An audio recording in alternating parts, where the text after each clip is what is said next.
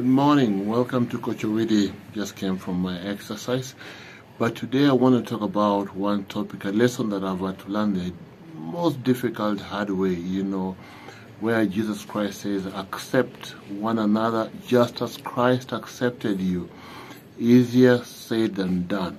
But the blessing that I've had that uh, I got married, or I'm married, I have a marriage that is cross-cultural. That's my wife from Embu, I'm from Luoland. And adjusting together to be able to bring our cultures together was so difficult, very difficult. So accepting one another just as Christ accepted us is not as easy as we as we might think. Why?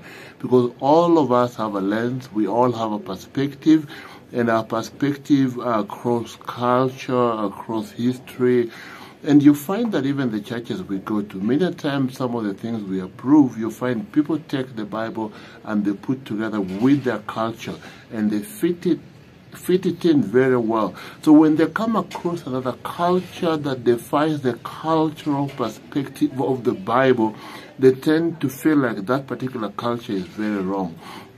And I want to give you an example. You know, a, a friend of mine, you know, just uh, shared with me a story and the story is about this prostitute who was met and then she was being helped to be a Christian. At the same time, she had to go through counseling. And, and, and one of the things that she said, or she said literally, was the fact that when she was brought up, she was brought up in a family where it was a divided family, mother and father separated.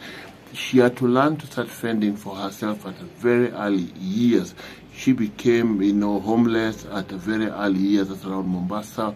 And thereafter, she needed to learn very quickly to, to fend for herself. So quickly, to be able to do that, she started just having relationships with men for money.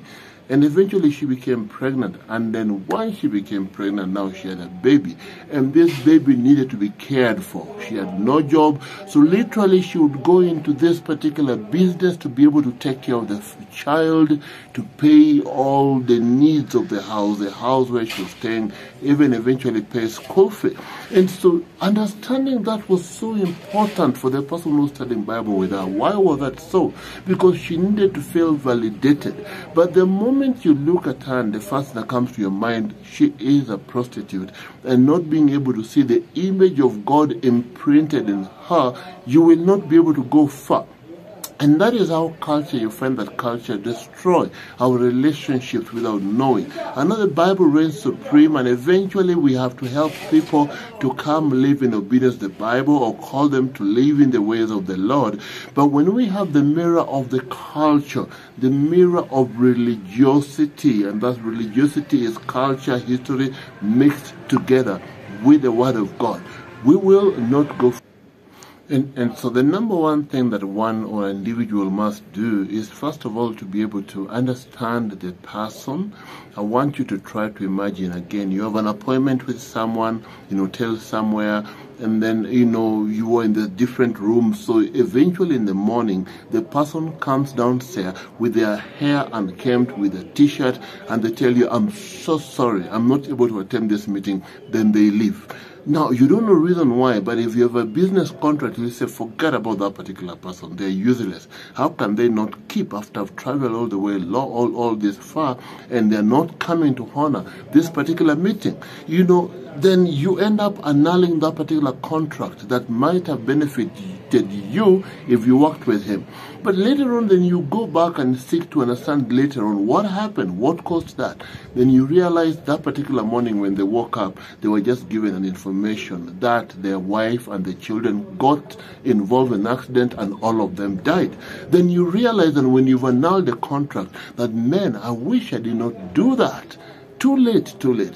And many times what happened, we meet someone for the next first five minutes, and based on their look, their culture, their tribe, and the way they're dressed, we judge them very fast without seeking to understand where they're coming from. Each and every one of us, we respond and we react based on our perspective. And that's where we have to put a perspective of Jesus, wearing the mirror of Jesus, to seek to want to understand people first, to understand where they're coming from, like, how will you know? If I told you that I have malaria, how would you know? You didn't know. If I told you I'm sick, you didn't know.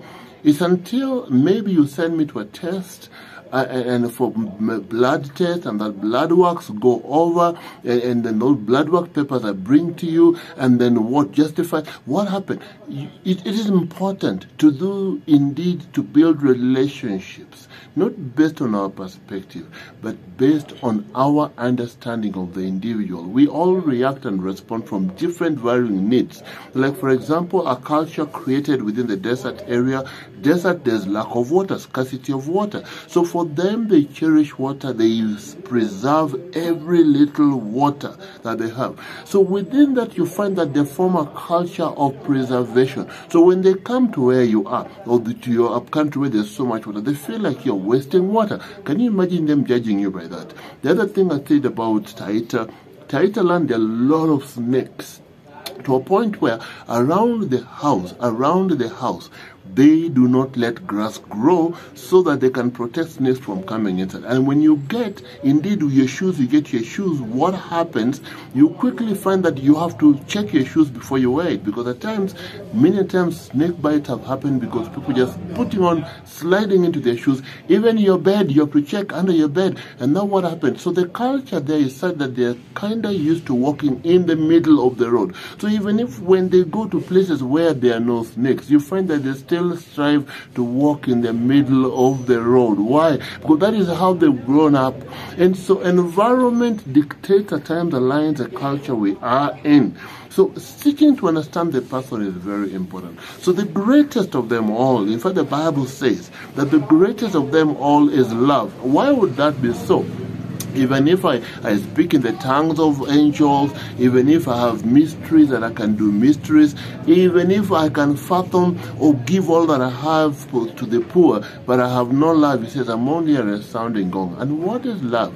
Love equally indeed is imitating what Jesus Christ did on the cross, loving the unlovable while we were still sinners. So the word of advice, before you judge somebody, before you make a decision, or before you, you, you write somebody off, even for those of us who are dating, seek to understand the person, seek to know the person. Once you know the person, then you can make a decision based on that. So to, to my, my, my last, last words of advice, accept one another just as Christ accepted you.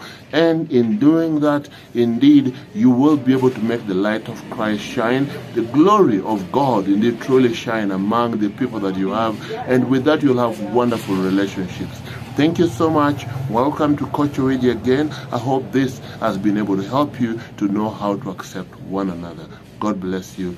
Thank you. If you need to reach out, you know, for counseling, life coaching, feel, feel, feel free to reach out to me on 0724 Kenyan code. Thank you. Thank you.